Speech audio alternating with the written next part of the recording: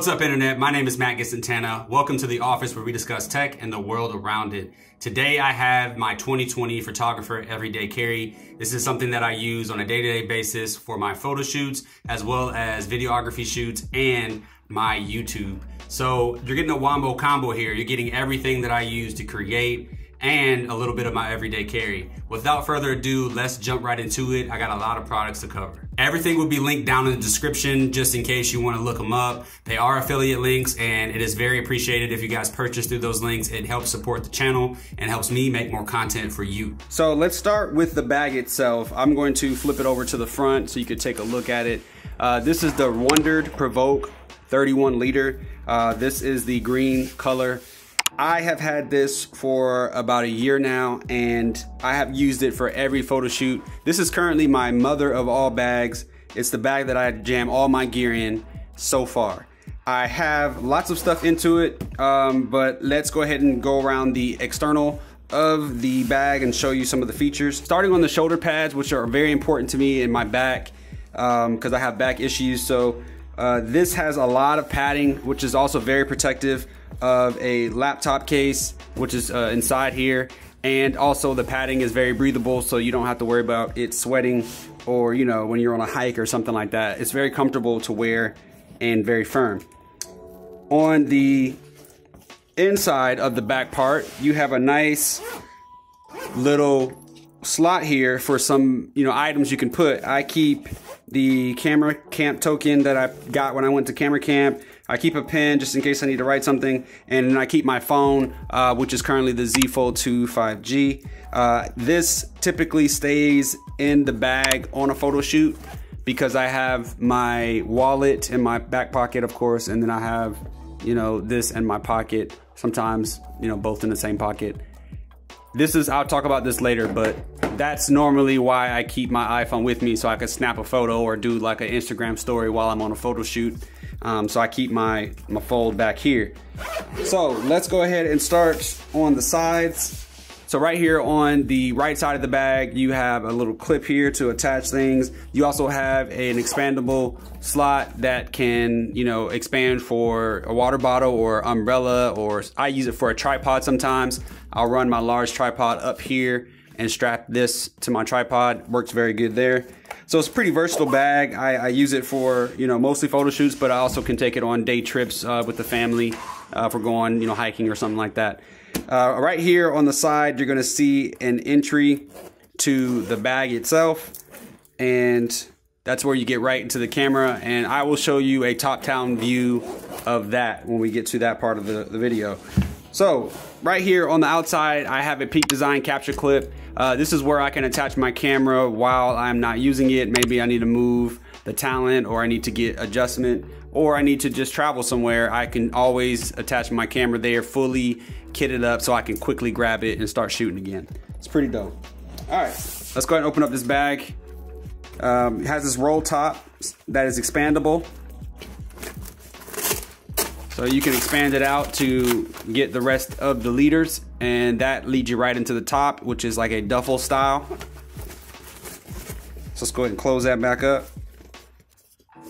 You also have these two handles right here that are magnetic. They attach to each other so you can grab it and hold it this way or you can obviously tuck it under this strap and keep it secure that way.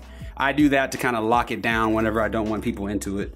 And you also have a uh, theft proof uh, lock here that you can uh, use to lock up. So let's go ahead and open it up. And this bag has been pretty durable during my time too. I've, like I said, I've had it for over a year and it's been very durable. So um, very surprised with it. So right here in the top part that you saw that would come down from the roll top, I keep my Beats pill. I probably should keep this in a case, but I've had it for so long and it's pretty banged up. But this is like my favorite speaker. I've used it for a very long time. If it ain't broke, don't fix it. So I pretty much hang on to the gear that works and this has worked very well for me. Uh, you can charge up your phone as a battery bank, of course, you know, 3.5 as well as a lightning charger. That's where you use to charge the phone. Um, this works great on photo shoots, you know, to kind of set the mood, get the talent excited, you know, stuff like that. So, you know, good thing to have. Let's go right here. So right here, uh, from the side pocket, as you saw, you have access right here to the Canon EOS R. This is the camera that I primarily use to shoot my videos on here on YouTube, as well as my workhorse for my photography and videography business. So I've shot weddings with this, I've shot photo shoots, I've shot, you know, events. Uh, I love this camera. Um, I purchased a couple accessories to kind of make it work for me. I have this cage that is great for hybrid shooters like myself, photo and video. It's very comfortable in the hand. Also, most importantly, it protects your investment. I just told you I use this for YouTube and my photography and videography business, so I need to protect this. This, this case is pretty expensive, but you are getting a lot of protection and a lot of options. Uh, SmallRig makes one, but I prefer the 8Sinn one because of the handle and the grip. I feel like this is way more comfortable to hold in the hand than the other ones. Other than that, I have the Peak Design clips here that I attach to the neck strap, and that is one of my favorite accessories that I will cover a little bit later too in the video.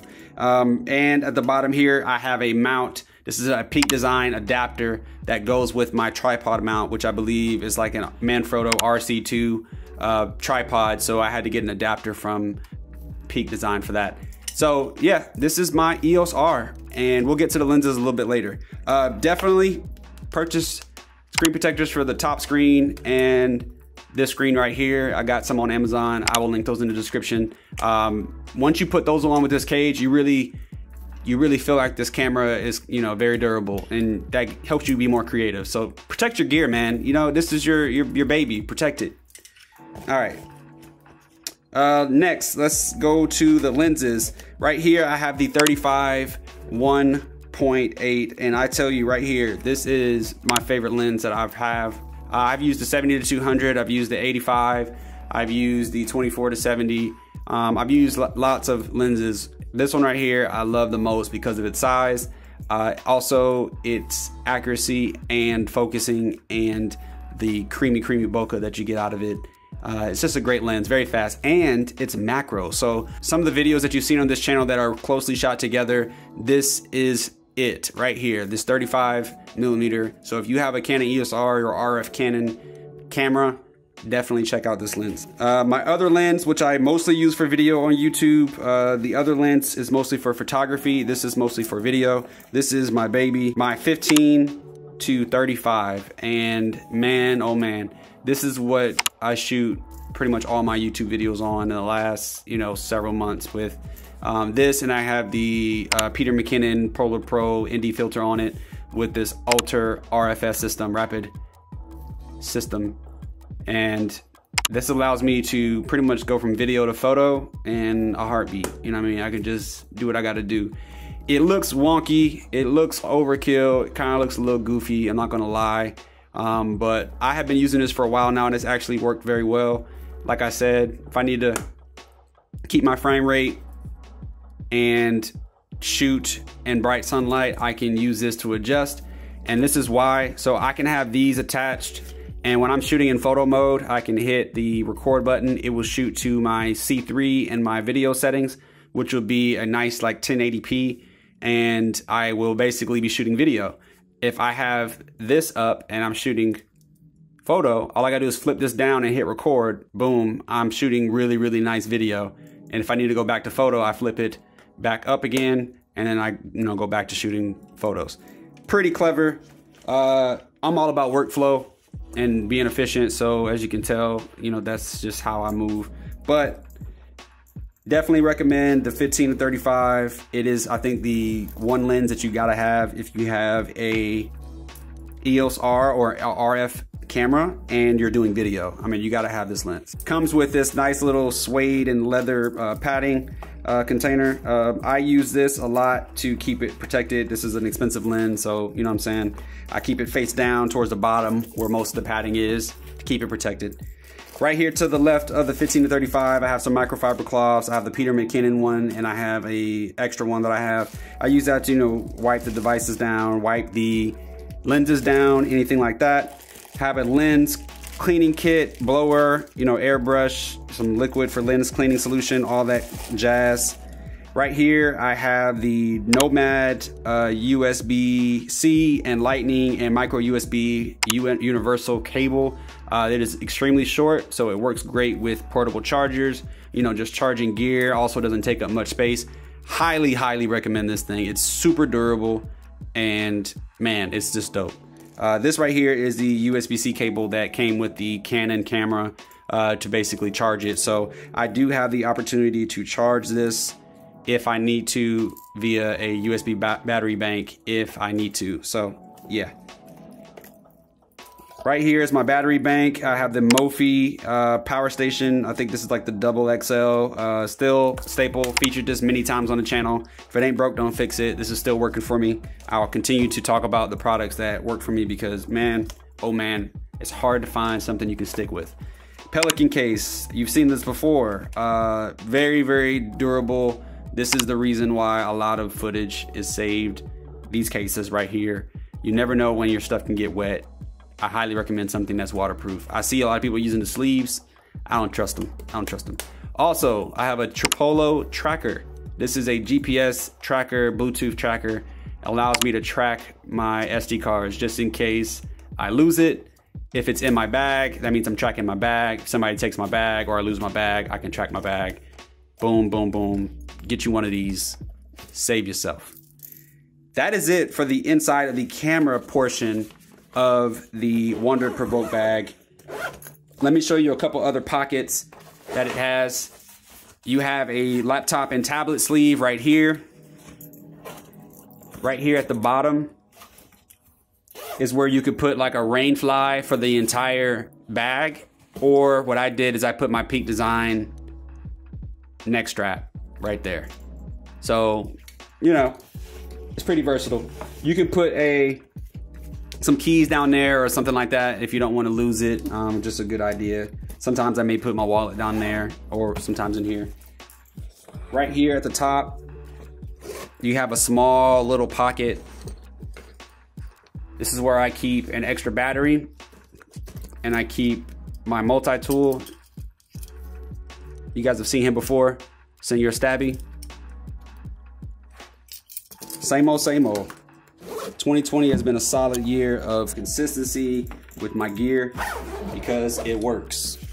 And I'm glad that I've been able to find stuff that works reliably. Uh, right here on the side of the bag, there is a little side compartment uh, this is where I keep, I can attach things. Right now I have a little keychain from Camera Camp. Camera Camp gang, shout out to the Discord. Um, and then I have an extra knife. I always keep a knife on you, uh, especially on a photo shoot. I use it to like maybe cut thread on some of the talent if they have like a suit. You know, sometimes you, they get like rental suits from these places and, um, you know, need to cut off some thread. Good idea to have a knife. And also right here in this front pocket is a nice little sleeve area for my mask. And I keep some extra filters in here for the mask. Uh, this is one of the masks where you can kind of change out the filters. Um, but yeah, this is a nice little compartment to like throw some papers in, maybe a, trail map, something like that. Very quick access thing. Uh, depending on what you're trying to put in here, you could probably put maybe like a really thin raincoat or something just to make sure you're, you're covered in an emergency.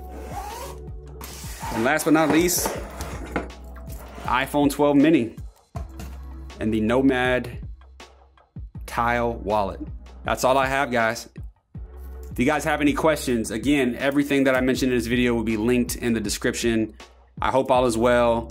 If you haven't already, please hit subscribe, hit that like button, and drop a comment down below and let me know what product that you saw here today that you didn't know about that you're excited about. Let me know. I'll see you guys in the comments. I'll catch you guys in the next one. Stay up.